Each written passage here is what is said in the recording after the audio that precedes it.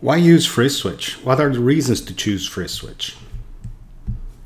In this chapter, the idea is to, to show you why you have to choose FreeSwitch, why FreeSwitch is important, and what are the reasons to choose FreeSwitch. Not because of the hypes or someone else have told you, ah, FreeSwitch is better or worse than anything. Uh, for now, we're going to use FS instead of FreeSwitch for the whole training, just to, to simplify and reduce a bit the size. So when I'm when I call FS is the same as FreeSwitch. Okay. So let's go next. Differentials for FreeSwitch: performance, stability, multi-domain, developer-friendly, and leadership in WebRTC. Uh, I think the first thing for for FreeSwitch is the performance. Uh, we have reports from the field saying, hey, it's four times faster than Asterisk. It's two times faster than Asterisk. There's a paper, a study from HRCK. It's a, it's a research institute in Croatia. And the paper is, the source of the paper is here. You can download and, and check. Uh, FreeSwitch can support two times more simultaneous calls compared to other platforms. So in comparison with Asterisk and Yate, with independent published results, it has almost twice the number of concurrent calls. So for ITSPs, Internet Telephony Service Providers, and for people using uh, high volume uh, calls, FreeSwitch makes a lot of sense. It can support a lot more concurrent calls in the same hardware compared to the other open source projects. So I think this reason is enough to, to make you choose FreeSwitch for many, many applications, mainly on ITSPs and call centers where performance and the number of concurrent calls is key to get a good solution. It reduces the the amount of hardware that you need to, to have. It reduces the amount of energy spent on the system. Multi-domain. This is the reason I have I have used FreeSwitch for our PBX project. It's because it's natively multi-domain. You don't need to, to create any workaround. You can use user at domain and FreeSwitch supports multi-domain by design. So the Sofia stack, the SIP stack is multi-domain. So it's much easier to create a multi-tenant PBX using FreeSwitch than the other platforms. So this is also very important for, for FreeSwitch. Stability. FreeSwitch was built in a uh, non-blocking core. All calls have control of its own resources, avoiding deadlocks. This is also very important. It's very stable, mainly when you have high volume. So in high volume, it's it's rare to have a, a crash or something like this. Uh, the stability of FreeSwitch is, is very nice. Developer friendly. Uh, FreeSwitch is very friendly uh, for developers. Supports C, C++, Net, JavaScript, Python, Lua. Uh, there's a highly developed event system that generates events for everything. Support message queues such as RabbitMQ and has extensive database support. ODBC, SQLite, Postgres, MongoDB. You can use your applications using many of these databases. It's very open to the to the developer it's really uh, a good choice if you want to develop new things.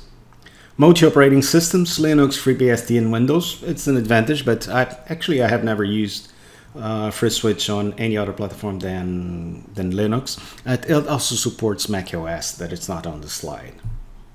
Flexibility. It uses a wide use of regular expressions and route based on any call variable. So you can route based on the caller ID, based on Kali ID and the number dialed, any variable that you have on a call, any header that you have on your SIP, on your session initiation protocol uh, parameters. So it's very flexible in terms of routing. It's very flexible on what you can do on the system.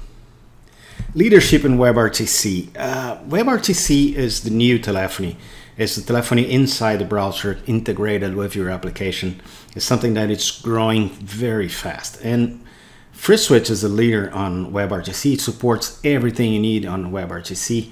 There's lots of protocols on WebRTC such as DTLS, SRTP, uh, there are many things that you need to support to support WebRTC in the platform, and FreeSwitch supports all of them. It supports SIP using JS SIP, SIP.js, or SIP ML5 if you want to use SIP as a signaling protocol for WebRTC. And FreeSwitch supports also Verto. Verto is their own protocol for for FreeSwitch. It's easier to use when you want to implement presence and many other API, many other things. It, it's integrated directly in the API. It's easier for developers to develop WebRTC applications. Where to use FreeSwitch? The most common application is obviously PBXs. Uh, there are many companies building PBXs based on FreeSwitch. Session border controllers. Session border controller is a key application for FreeSwitch, converting from IPv6 to IPv4, converting codec, uh, doing creating the security and voice application servers. You can integrate FreeSwitch with Watson. You can integrate FreeSwitch with many different applications. Session protocols. It supports SIP, Skinny, the Cisco protocol, Verto, H323, IAX2, Jingle, and TDM. There's the Open TDM. You can use cards, E1 or analog cards on FreeSwitch 2. Codec support. There's a long list, all the traditionals, PCMU, PCMA, G729, and Opus.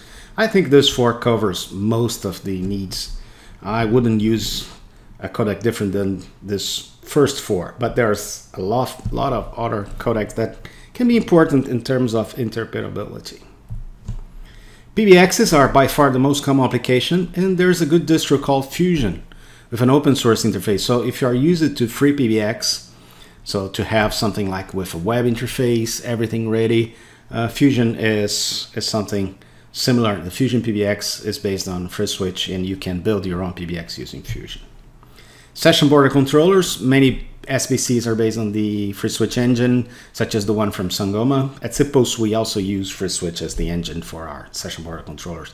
At least the backend part, the the front end is, is, is based on a proxy.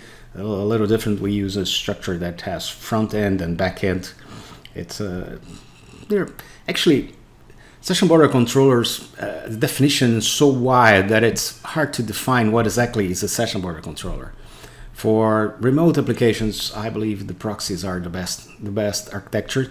For the connection to other other providers, back-to-back user agent definitely is, is better. So you can use FreeSwitch and proxies and, and the same machine to get both.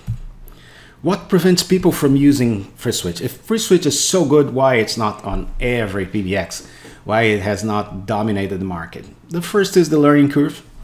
FreeSwitch is based on XML and regular expressions, and many people uh, have a hard time understanding XML and regular expression. That's why I have created uh, tutorials for XML and regular expressions separated. So before we start with the dial plan, we need to check the, you should check XML and regular expressions depending if you understand or not these concepts.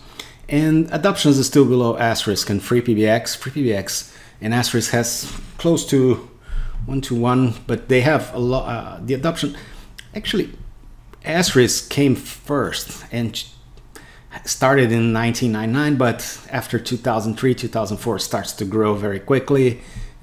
The peak was in 2007, 2006, 2007, and then they have a steady steady growth since then. FreeSwitch is newer, so it does not have all this adopt. Uh, all these people adopting. So that's that's why it's still there's probably five five asterisk servers for each uh, FreeSwitch server on the open on the internet. You can use Shodan if you want to to compare the number of open servers on the internet with FreeSwitch and asterisk. It's an, an interesting comparison. But FreeSwitch is growing, growing quickly. is a rock solid project, and we really trust that FreeSwitch will be uh, bigger and bigger in the future. Maybe uh, it's hard to say if it will surpass Asterisk, but uh, it definitely has its niche on ITSPs. If you want to run large volume, a large volume of calls, uh, FreeSwitch is definitely a good option. In summary, in this chapter you have learned that FreeSwitch can support more than twice the number of concurrent calls compared to other back-to-back -back user agent systems. It's developer friendly, friendly. it's multi-OS supporting Windows. It's extremely flex flexible by the use of regular expressions and variables. It's used to build IPPBXs, SBCs, and voice application servers, and is very handy if you plan to support WebRTC. Thank you.